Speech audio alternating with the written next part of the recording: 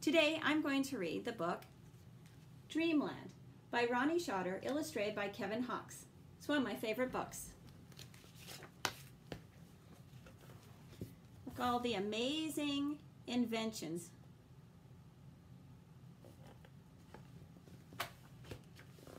Dreamland by Roni Schotter and Kevin Hawkes, who's one of our family friends.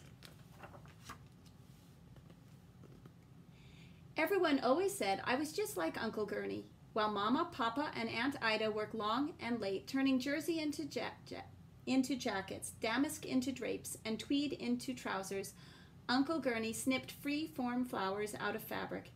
For you, Mrs. Levine, he'd say, presenting a customer with a bouquet of gingham gardenias.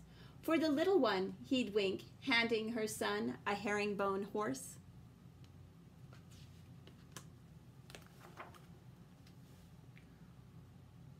When he should have been stitching straight lines, even stitches, and cutting ever so carefully along dotted lines, Uncle Gurney's eyes strayed from his patterns while his lips talked of the day he would leave the family business behind and start a new life in the West. There, ideas grew as fast and as easily as plums did on trees, and the air was warm and light and sweet with the scent of jasmine and oranges. Watch where you cut, Aunt Ida always shouted, interrupting his daydreams. You'll spoil the fabric. There's more to life than measuring and cutting and keeping to a pattern, Uncle Gurney would say, proudly displaying his latest creation. There's think and wonder, and best of all, imagination. Theo knows this, and so do I. Here's one of Theo's drawings.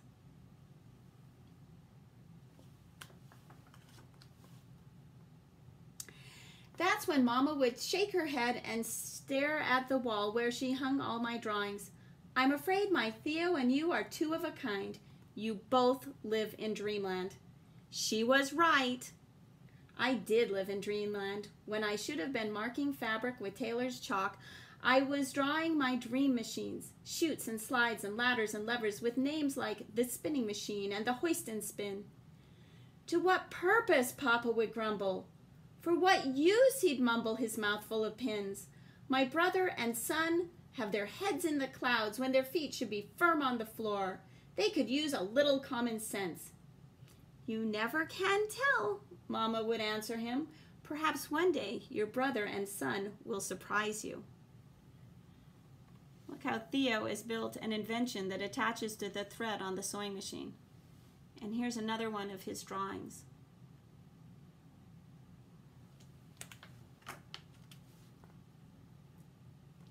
Time went on and life became harder. There were fewer and fewer customers and less and less work. One morning, Uncle Gurney appeared wearing his finest clothes. He was leaving, going west to seek his fortune. With money from Papa, a kiss from Mama, and tears from Aunt Ida, he was ready to depart. Goodbye, my Theo mio. I will miss you most of all. Promise you'll go on with your dream machines, and when I have an address, you'll send me some. What could I say? I nodded, ran to the wall, ripped all my drawings down, and stuffed them into Uncle Gurney's hands. Take them, I said, closing my eyes as tight as I could to keep my, myself from crying. When I opened them, Gurney was gone. Look how this drawing looks like a suitcase that's flying. Who do you think's on top?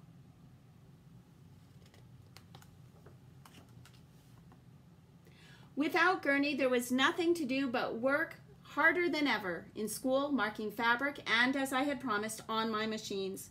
One day, a letter arrived from Uncle Gurney.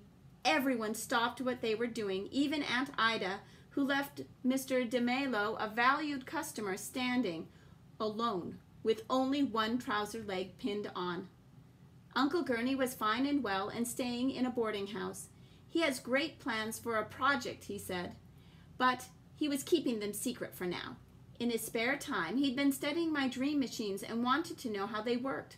Could I send instructions? He sent kisses and hugs to everyone and to Papa the promise that one day he would pay back the money Papa had given him. Here's another one of Theo's drawings. Looks like a lemon.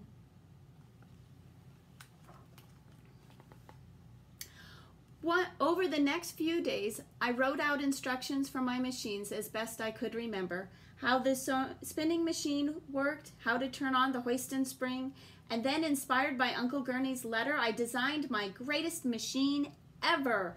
I called it the Head in the Clouds in honor of Uncle Gurney. When it was finished, I hurried off to mail it and my instructions to him.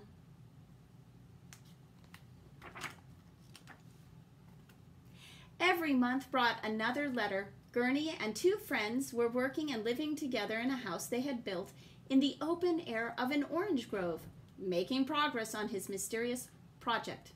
In one letter, Gurney sent a packet of bulbs. Plant these, water them, and in the spring, when they blossom, I will have news. He has friends, Papa said. He's happy. But he hasn't changed. He still lives in dreamland. He could still use a little common sense. Here's the bulb. Winter came and there was even less work, more and more time for dream machines. Soon the walls were covered with new drawings, and every day I watched and watered Uncle Gurney's bulbs, waiting for a hint of green. But week after week, nothing grew. So, what did you expect? Papa said. Mama, Aunt Ida, and I glared at him And here's a drawing that looks like a, an invention that's a plant growing in a pot. In March, except for an Easter dress for Mrs. Riley and a Passover suit for Mr. Gold, we had no work at all. Without work, what will we do? Papa said over and over again. He and Mamma and Aunt Ida were despondent, but I was full of hope. Uncle Gurney's bulbs had sprouted and were growing. One by one, buds appeared. Soon, I was sure, they would blossom and there would be news. On a cold morning in April, Gurney's buds opened into lilies so large they looked like trumpets with something to say. That day, too, an envelope arrived. I seized it and read the contents out loud. Project nearly done. Everything in bloom here jasmine and oranges and lemons and figs. Imagine! Use the money I owe you to buy tickets. Taped to the letter were four bus tickets. Pack your bags, meet you at the bus station, Gurney. I turned to Papa, waiting his answer. My heart pounded as fast as the needle on his sewing machine. Papa sighed and shook his head. Might as well, he said. No work, and we could use a holiday. Here they are riding on the tickets with the lily trumpet announcing their way. Day and night, night and day, we traveled across the wide country on a bus, and then finally we were there. And so was Gurney. When I saw him, all the tears I had kept so long inside came out. I have something to show all of you, especially you, Theo mio. Come, Gurney said, and he lifted me high up onto the back of a truck the color of the sky. Off we drove through the windy western air, in and out of fruit trees, wearing bright spring jackets. In the warm, fresh air, Papa couldn't help but smile for the first time in months.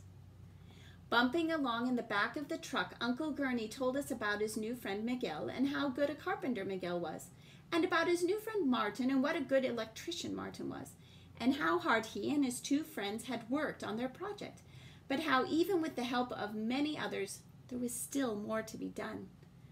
Uncle Gurney, I said, unable to wait even a minute longer, what is it? Please tell me, what is your project? It's just around the bend, Uncle Gurney said, his eyes bright with excitement. Then I saw it, or maybe I dreamed it moving, spinning, whirling, and sparkling with colored lights. My spinning machine, my hoist and spring, even my head in the clouds, all my dream machines exactly as I had drawn them, but real now, and running, and larger than life. It's dreamland! Uncle Gurney announced proudly, squeezing my hand so hard I knew I was awake. And you, my Theo mio, designed it.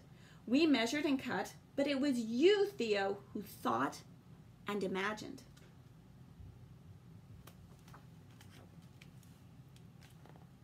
Papa's eyes were the size of winter coat buttons. You have brought dreams to life, he said. Amazing! Gurney's face blushed pink and broke out in dots like the dotted Swiss fabric Aunt Ida made dresses of. But Dreamland is still not finished. It needs something more, Gurney said, smiling. It needs my hard working family with its good common sense to manage it, and it needs special suits for the men who will work here. Purple silk with satin lapels, Aunt Ida sighed longingly, and dresses for the women. Sequined with bugle beads, Mamma breathed excitedly, and thick curtains for the ticket booths. Red velvet with fringe, Papa whispered dreamily. And many, many new dream machines, Gurney said, looking at me. The tailor's miracle with giant bobbins and huge pulleys and hoists, I said, reaching for my drawing pad.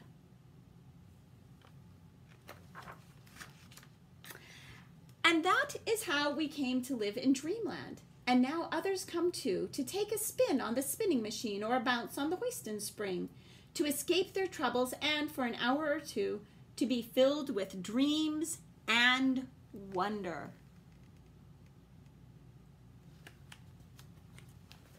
I hope you've enjoyed this book. I hope you enjoy making things and using your imagination as well. Perhaps you could design a theme park with a theme that you choose. I made this sewing theme park. It's called So Much Fun. And it has a thimble wheel, a scissors spin, the yarn bumper cars. Kids ride needles and go through on the water like they're a needle in and out of thread or in and out of fabric. There's the knitting needle knit drop and the crochet hook roller coaster and the spools and uh, pin cushions on the merry-go-round. My son made a J.R. Tolkien inspired theme park as well. What kind of theme park would you create? Do you like sports or reading? Do you like food or animals? Do you have a different hobby or interest that you could use to inspire a theme park? Have fun using your imagination